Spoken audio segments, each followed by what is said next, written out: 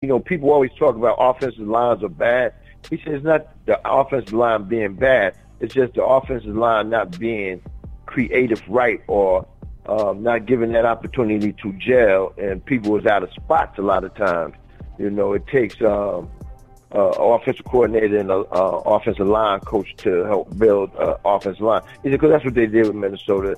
You know, they just rekindled the line and did a little touching up here and there. But uh, he said, you know, uh, with improving the running game, which he felt that some of the backs didn't really get uh, the right touches or the right play calls for them. And um, just that he didn't want to down coaches. He just said, with a new system, things should go well. And, you know, uh, we pick up a back here, there, we should be better. But um, I just like the kid, Josh Allen. If uh, we was able to, uh, you know, get rid of Eli, I wouldn't mind him being our starting quarterback. But you know, that's their, that's what they're gonna do. That's their team. Because he also made a statement the last time the Giants had the number two pick overall, they picked up a guy named Lawrence Taylor. So he's saying he's going best player available at the time. So I'm asking you this question, Ben. Who you think is the best player? You know, because I don't think the quarterbacks are the best players. Uh, the quarterbacks are need players for a lot of teams. But who you think is the best player available in the draft besides think, quarterbacks? Besides quarter, I think the best available player is Saquon Barkley. The way that kid, his ability is amazing. Um, catching out of the backfield, right. punt returns, kick returns. He even did a couple halfback passes. So flat out talent. Uh, I'm I'm going with Sha- Saquon Barkley. Now I don't know if he's probably not going to be the first. He may be the first running back picked, but talent is is just off the board with him. Right, right. Uh, okay, that's a good one uh, because you you see putting him in a, in a lineup with Beckham and Shepard and Ingram, you know, that's uh, then you got that young back. Uh, that would be great. But then people would say, well, shit, you ain't got to go first pick with a back because you got backs that's just as good as Barkley. You got True. Uh, Sony Michel. You know what I'm saying? Uh, I see a kid back here from another school. I can't think of school right now. He looks like he's going to be a good NFL back. So backs are going to be there. Uh, I look at it like this, and that was a good point that was made about LT.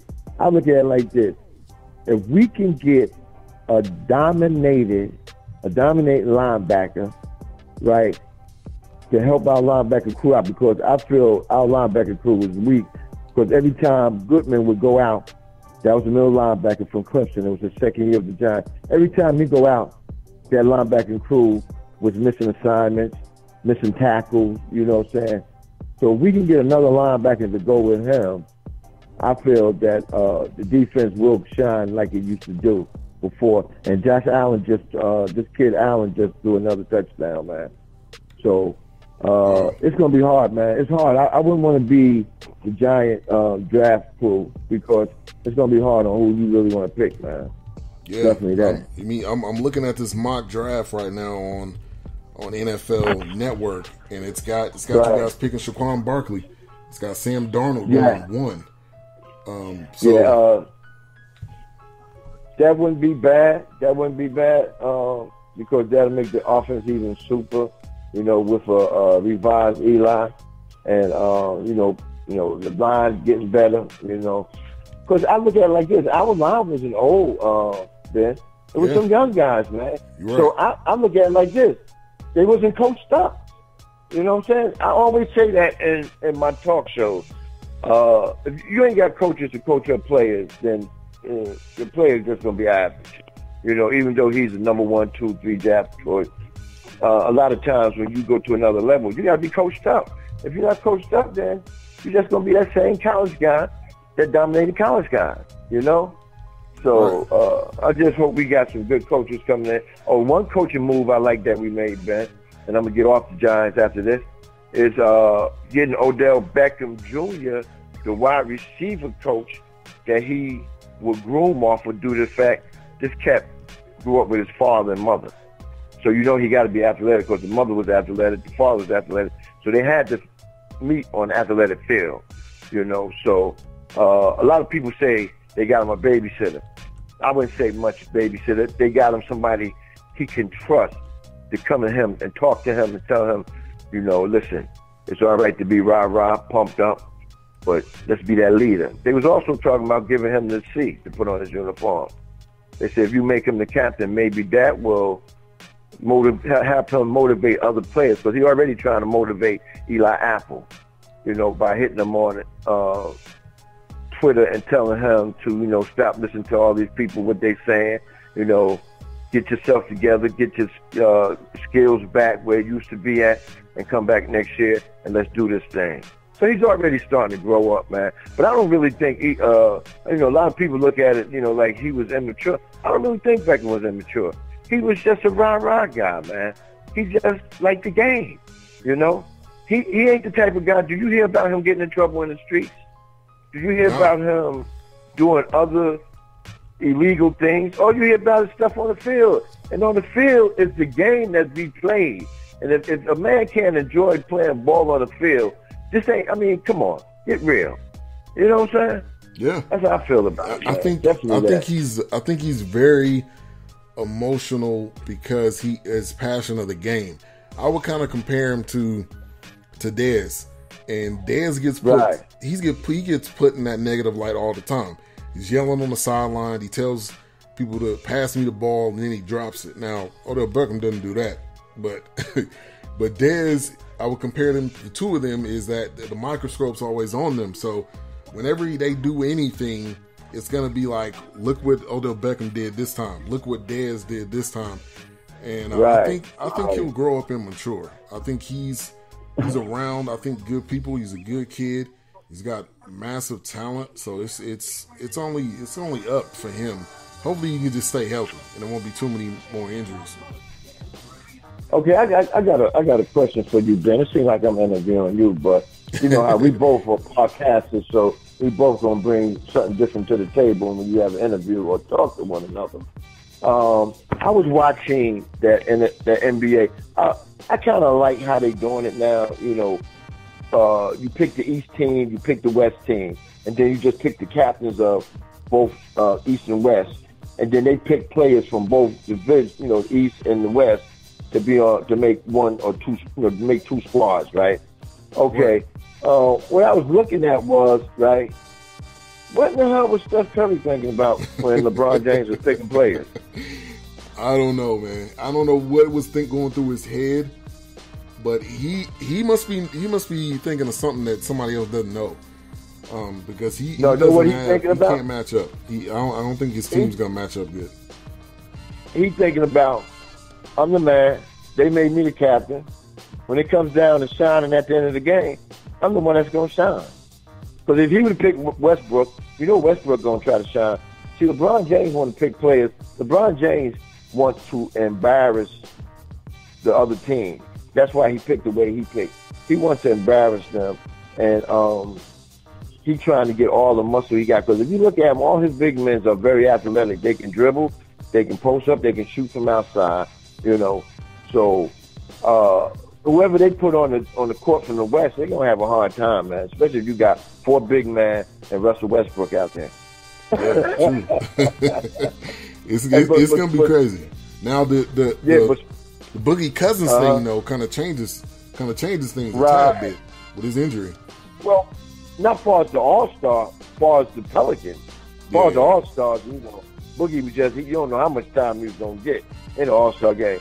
But far as the Pelicans, oh man, that just blew their bubble right there, man. Um, now you're gonna see uh, AD going for 50, 40 every night now to make up that what they missing, you know. But they was gelling the good together, man. They showed a lot of breakdown highlights of them and Boogie Cousins, you know, sharing the ball, uh, feeding off each other. And then uh, one thing about Boogie, what they're gonna miss, the guards can cut to the hole and get a pass and make an easy basket. So uh, Boogie Cousins, I think he may just have messed up his money for next year, because you know next year was his uh, year to you know go into free agency, man. I mean after the season deal. over. Yeah. Yeah. So he he may be a little messed up on that. He may have to sign a two year contract with the Pelicans and, and get that money because you know if it's your team, you can get as much money as you want. You know, so this will take him away from other teams really giving him that real big contract. He gonna get a big one with the Pelicans, but how we know he wants to really stay there? You never know that. True. True. You know, yeah. Man. So what's been up with you, Ben, man? I mean, you know, you, you this big time music guru. Uh, you know, you're doing your sports show. Now you're doing uh, uh, recruiting and promoting. I mean, hey, what's going on, man? You know, talk to the brother. You know, give me some suggestions or hints. Yeah, man, I'm I'm just I'm just uh, out here just trying to trying to promote and trying to uh, make money. Pretty much, I'll reach out to people. I ask them, "Hey, I can promote you on the show, and I'll do it on right. social media." Um, I only only charge ten dollars a show, which is not a lot, and uh, most people do right. more. Most people do more than ten. You know, they do more than one show. So um, yeah, I'm just trying to grow this into something bigger than bigger than me, and uh, hopefully make this like a full time thing. But um, yeah, and the music show. So I, I get music sent to me from um, Reflection Music Group. It's a record label that's a hip hop label, and you know I've been talking to them for a while, and they were like, we can uh, send you music so you can play it every week or play it whenever you get it. So I, I, I just figured I just might as well do a show and just promote their music, and hopefully that'll also be another avenue to, to try to get in the door somewhere. So uh, that's that's pretty much what I'm what I'm what I'm up to now. Doing the show every week now well, too. So right, that that's big, man. But uh, you know the same the same ideas and plans you have. Uh, I have uh, some similar, right? It's just that I gotta, uh, you know, wait till things get in line for my mom's. You know, as far as uh, her getting better and start the rehab to to make this thing happen. You know, um, uh, I, I got very emotional Monday. You know, but um, after that, I I cleared my head and um, I got with some people, and um, we're about to make some things happen with my mother. So, you know, as far as her getting to that point where I got people working with her, you know, outside people coming in, visiting her, working with her, you know. Um, then I can start focusing on what I want to do because, you know, just like what you doing, I'm gonna start doing things like remotes on the road, on the road, man. You know, going outside of the house and do things. Um, I got a book signing that uh, I'm gonna do a remote from the end of uh, February, right? Young lady I know. I wanted to bring her on today, but I think she have a kind of like busy schedule. She said she was only gonna be able to give me like an hour and a half. Uh, early, you know, this part of the day, early in the day, but I told her, no, it'd be kind of rough. I'll try, but it'd be kind of rough. But uh, if I can get on later on this evening, it'll be good. But she got a serious book, man, you know, called uh, Fearless Passion. Uh, I don't know if you listened to my show last year when she did her book launch from yeah. a salon. I did a, a remote from there. Uh, yeah, man, she uh, she big time, man. Um, and you know, she she know poetry. She just got a, a life story to tell about, you know, fear, fearless and passion. You know, so um, it's gonna be a good thing, man. And you know, uh, like you said, like that link you had, and I made a copy of. Um, the people that I want to start doing shows, right? Because uh, and one, I'm trying to build up X Squad. I asked them, do they want to be part of X Squad before I bring them over? You know what I'm saying? Right. If, if they don't, I don't force it or push it. But this is my thing. If you can, if we can bring more youthful and people that really want to be down to, uh, I'm looking for us sometime this year to have a studio of our own. That means we can, 24 hours, we can come on as X affiliate.com radio station. You know what I'm saying? So, because we got a lot of DJs and we got a lot of people that does podcasts and if we can do that, maybe we can influence a lot of people that don't do live shows to do live shows because uh, if you do a show 12 at night, I mean, you can do shows all during the morning. If you do shows like that, you will get heard and you will get more listeners and people following you because the West Coast, that's their morning time. I mean, that's their late night time. You know, somebody may want to sit back and listen to a show. I can do a show from 2 in the morning to 5 in the morning on a Saturday night, Sunday morning, you know. Stuff like that, and you still have people listening to you. So